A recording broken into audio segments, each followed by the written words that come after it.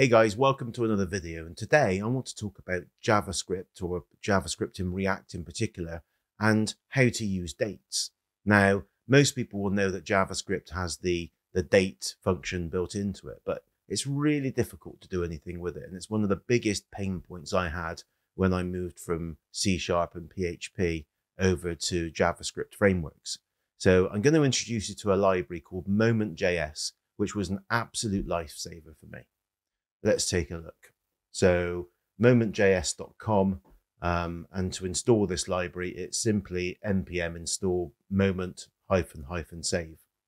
Their documentation is actually really, really good.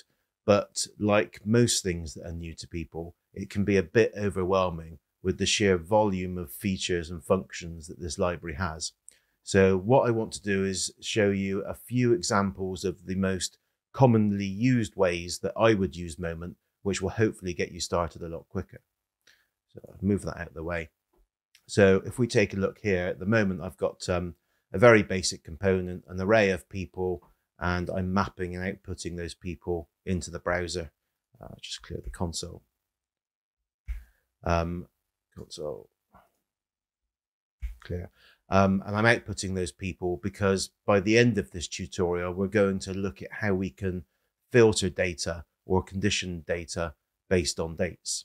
Um, for now, if I refresh this page, you'll see that I'm outputting the standard JavaScript um, date function and I get a date. And like I said before, it's really difficult to try and play with these dates or set up conditions based on something being before or after today's date. So let's go ahead and remove that. And instead, we're going to, I've already installed the library. So we'll import moment from moment. So we now have access to that moment library. And I'll just console out a new moment. Hit save, let's refresh the page. So this is now console logging a moment object. And you'll notice inside of the moment object, we've got the current date, um, which in all fairness is what JavaScript was getting us using the new date function. Um, but it's there's a few other properties in here. Is a moment object true? So it's confirming that what's there is a moment object. Um, is UTC is valid? Is valid is really good because that's telling us that the date that's produced is a valid date. Now that might seem obvious to you because we've just asked moment to give us a date, but you can actually pre-fill um, or pre-format dates. And so is valid can be quite useful. Uh, we'll cover that in a minute. So the next thing to do with moment would be to format it. So let's give it a dot format. And then here you can put a string and on their documentation, it tells you all the different variations of the strings you can put in here to format the dates. But we'll do a simple day, day, month, month, year, year, hit save. And you'll see here in the console now, we've got the moment object and then we've got the date formatted. Um, we could also pass a date in here. So we could say the default date is 2023, let's say January 2023 in ISO format. Um, and then we're asking Moment to create a date object from that date and format it in the way that we've requested. So if I hit save, we've now got the 1st of January 2023 just to go back to the the feature that I mentioned a moment ago about is valid, if we were to put a random string in here and hit save, it's going to say invalid date. And what we can do on the end of this is say dot is valid and hit save. And oh, it's a function. So there we go. Ah, sorry, we need to remove the formatting is valid comes before the formatting. So if we refresh now, it says false. Um, and we've got a warning that the date provided is not in a recognized format because we've just entered a, a list of random strings. Um, if I go back to 2023-0101 and is valid and refresh the page, then we've got true because it is a valid date. Just to give you a few other examples of the types of formatting you do, you can do, if I remove this, um, some of the most common are year, year, year, year, month, month, day, day, obvious one. Um, day, day, month, month, year, year, like I did. You could do um, day, day, uh, month, month, day, day, year, year, year, year, and we get it in that format. Um, we could also do D lowercase o, M, M, M, year, year, and we'll get 4th of April 23 or year, year, year, year. And the list is endless. You can literally format these dates however you want to use them.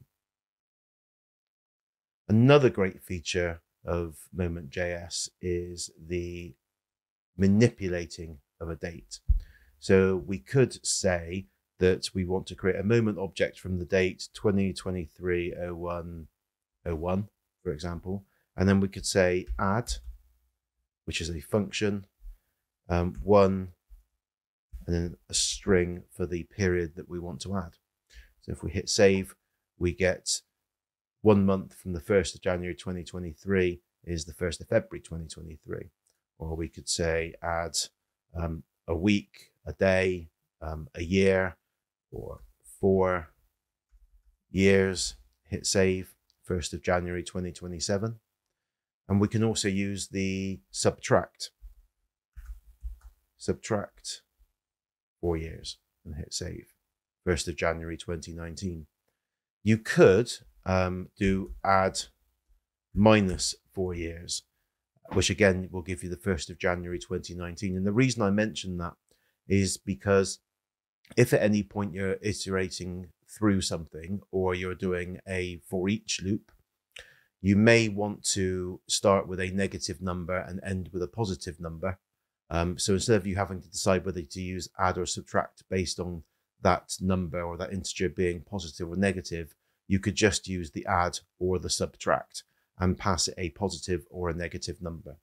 The other most used feature of moment is whether something is before or after a certain date. So if I just remove this here, so we'll say if the, in fact, we'll stick with 2023 0101. So we can say create a moment object for the 1st of January 2023 and say is before, which is a function. And inside that function, we pass another moment object. So we'll say moment 2020 oh, put it in a string 2024 hyphen 01 hyphen 11. And that should then pass us a, what have I done there? Ah, got the bracket. So I've just refreshed the page to clear the console. So that is true. So we're basically saying, is January the 1st, 2023 before 2024 or the 11th of January 2024. We could say, by removing this date, is the 1st of January 2023 before now. So moment by itself is a now, and it's true. The other function is is after, which is false because the 1st January 2023 isn't after today. So that hopefully gives you a good grounding in the way that Moment.js can be used to create date objects, um, preset those dates, condition the dates, and match or um, check if a date is before or after a certain date, which in 90% of cases is mostly what I do with dates. It's very rarely that I do much else.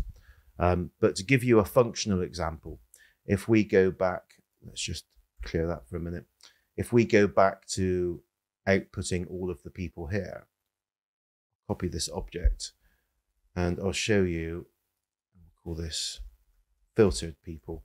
I'll show you how you can loop through this object and only showing people that started after, say, uh, the uh, what should we say, the, for the 15th of January 2023. So instead of just mapping through the people, we could actually add a filter on. So we'll say people dot filter object. And if you don't know about the filter option, I'm shortly going to be putting up a video on the filter function for arrays. So make sure you uh, subscribe to the channel if you want to be notified when I upload that video. Um, and we'll say p dot start. So we're checking against the start date of the person. Um, in fact, we'll need to wrap it in a moment. So we create a moment object of p.start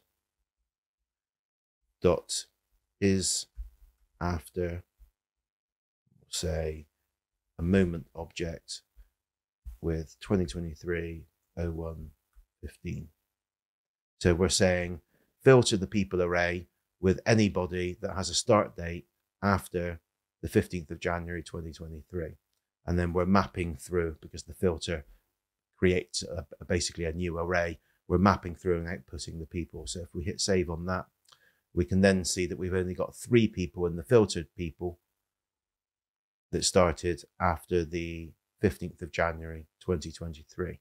Yeah, one, two, three. So hopefully that's a good introduction in the way that you can use Moment.js instead of the native date function in JavaScript to be able to create, manipulate, check, and validate dates in your JavaScript or React applications. Thanks for watching. See you in the next one.